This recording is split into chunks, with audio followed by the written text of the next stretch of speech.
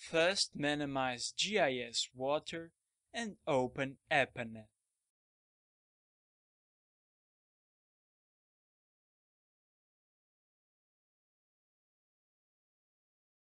Open the INP file generated in the second simulation.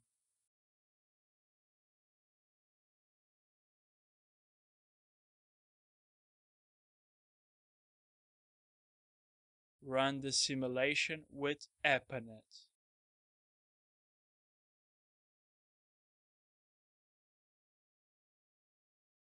Open the controls editor and we can see that the control rules have been properly exported.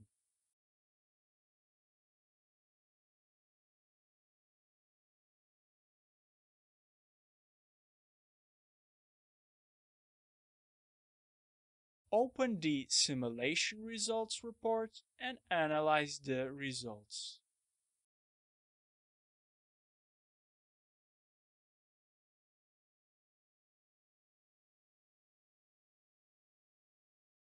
we can see that the indicated links have been closed and opened accordingly to the control rules.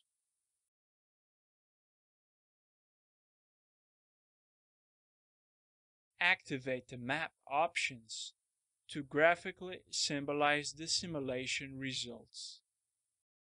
For the nodes, select age, and for the links, select velocity.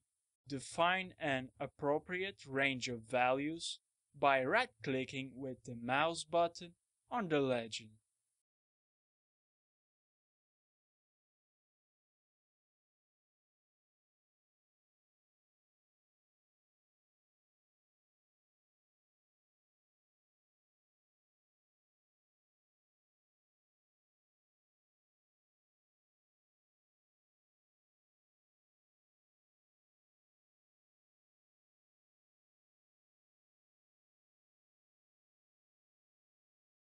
To display graphically the results for the entire animation period, click on the play button.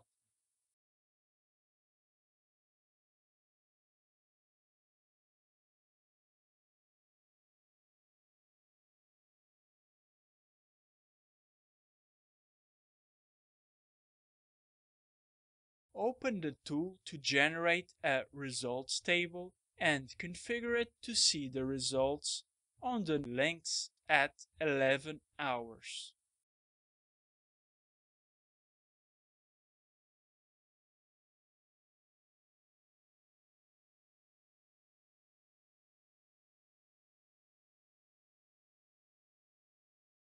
Visualize and analyze the results.